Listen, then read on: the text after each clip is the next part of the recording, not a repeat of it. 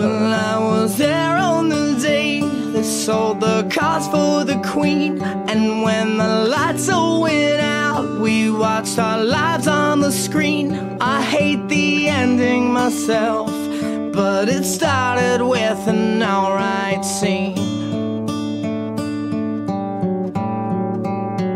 It was the roar of the crowd that gave me heartache to sing. It was a